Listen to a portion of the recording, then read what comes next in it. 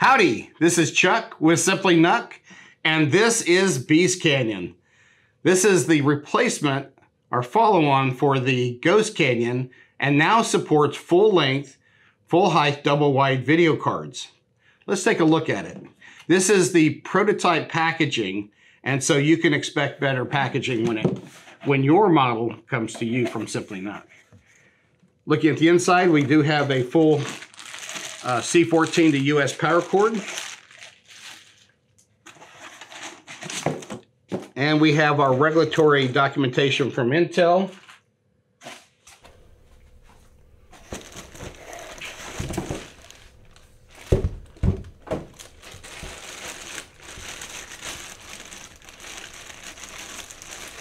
All right.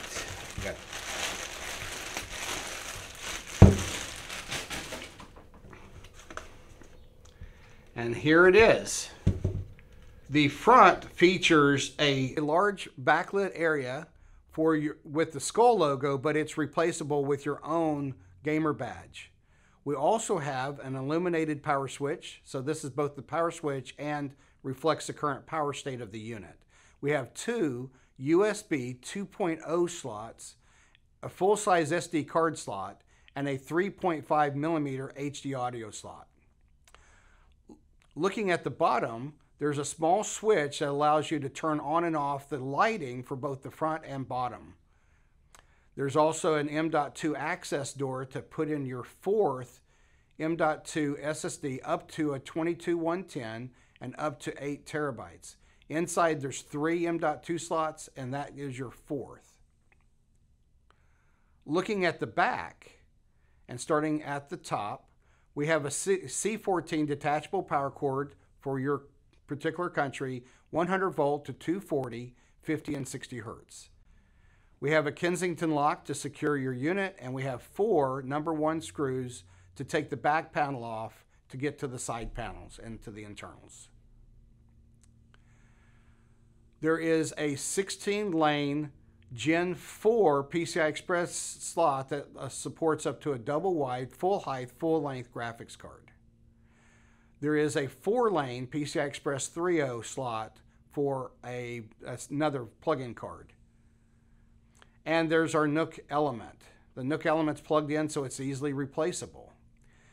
It has four, I'm sorry, six USB 3.1 Gen 2 USB ports up to 10 gigabit each, a full size HDMI 2.0 B slot, and two Thunderbolt 4 Type C Alt DP connectors.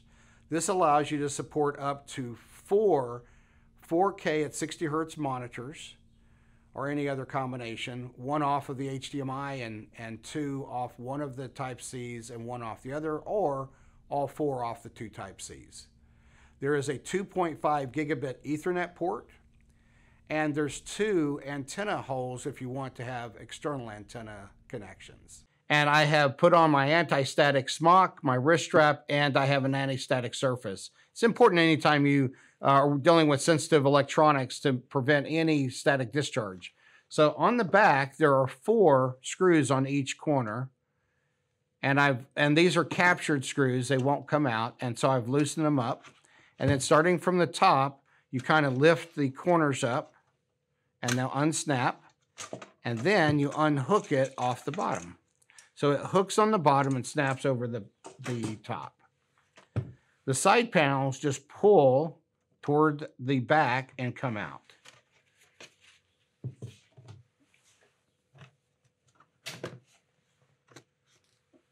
And there's the side panels. The top peels off, and we're gonna do this gently. So starting with the back, there's they just snap off. You know, don't pull it hard, but just kind of work it. And along the front, there is an antenna that may be taped to the unit, and so it may peel the antenna off, and that's fine for now. This is a prototype, and evidently that's something that Intel will be resolving on the production. All right, so there's the unit. To open this top, there are two arrows. You can kind of see the arrows pointing down and the word pull printed on this plate. So you're just going to put your finger where the two arrows are, and I'm going to pull it straight towards the camera. You might not have a camera set up in your case, and it just unclips, and then the whole thing swings up and over. Now you can see that I've already pulled the antennas, uh, the coax cables off, and I wanted to show you these to you. These are these were very difficult to remove. Uh, they need to be pulled straight up off the board, and you're just going to have to work them for a while.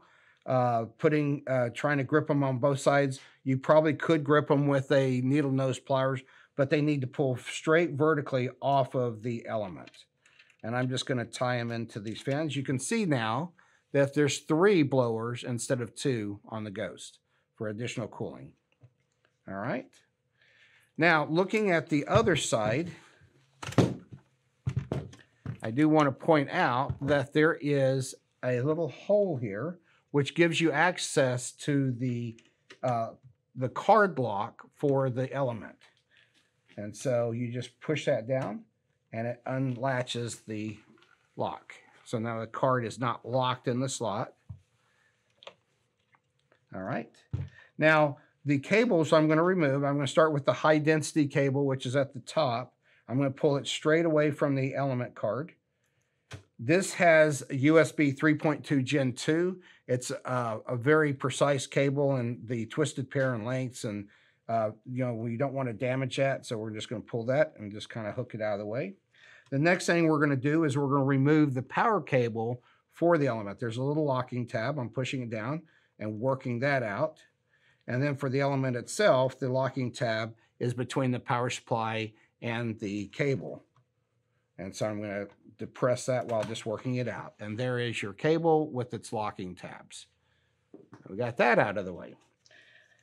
There's our various power cables for the um, graphics cards.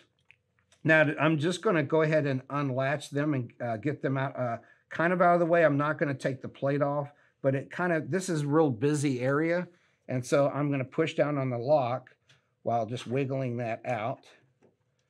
And once it's unlocked, it'll come out. And then the second one the same way. Now I can grab this one better. All right, and there's our two cables. They're going off to the various uh, video cards, and they're kind of out of my way. Now, on if if you remember the previous unit, the Ghost Canyon, there was all kinds of cabling uh, into it. What they've done is they've taken all of those cables and they've put in kind of a single docking cable. So if we dig all these out of my way, we'll get down to the board and there's a single cable there. And I'm going to unplug it. And now you can see what I'm talking about here. So there's, this is just a little short adapter that has multiple other connectors. So all of these, that one would plug in the, on the old Ghost, this one and this one, and they had another one. And so those all just are collected on this one little adapter. So now that gets that out of my way. And at this point, the board is clear. The only cable that's left is the blower.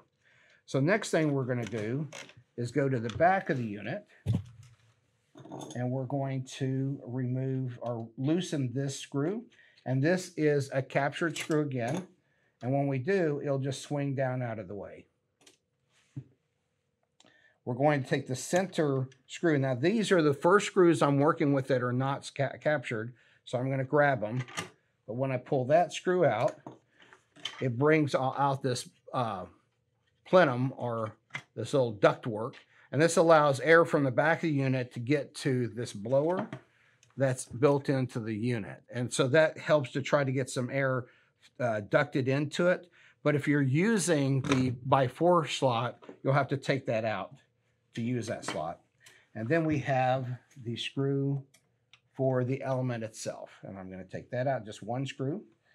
Now what's left are the two plates for either a single or double wide graphics card. All right, so at this point, I've, I've gone to the back and ejected. There's a locking tab. All of these uh, big slots have little locking tabs. Let's see if I can get that. So there's these little locking tabs that you might be familiar with. And they need to be up to eject. And so I, on the back, I've, I've ejected it. And I've taken the screw out and I've taken all the cables out and I just kind of need to get out of my way. I'm going to slide the card up out of the slot. And then I'm going to swing it gently out.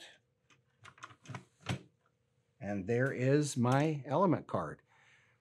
Hopefully I didn't make it look too easy. It is a beast to try to get this thing out if you don't know how. And you can see the only cable left is the blower. And we'll get back to this in just a minute. So now we're going to cover some of the um, features of this base unit.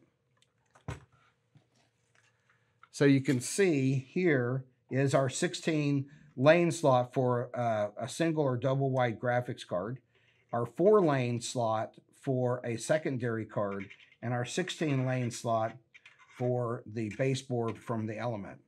We have a large power connector to bring power over to the slots, and we have some other cables for various reasons. And remember that on the bottom of the unit is a little door, and inside that door is the uh, 22110, 2280 SSD that bolts to the bottom of this. And there's also this reset switch right there. So, all right, so that's a unit. And then the power supply is not the 500 watt that was in the Ghost Canyon. It's considerably higher. And just look on the screen right here and it'll tell you the wattage. So I believe that's all you can see about the inside. The aptly named Beast Canyon because this is a beast of a unit, supporting the latest 3000 series double wide full size graphics cards, 11th gen Intel Core processors, and up to 32 terabytes of storage. Head over to simplynuc.com, custom configure your unit, and Simply NUC will ship it to you. Thank you.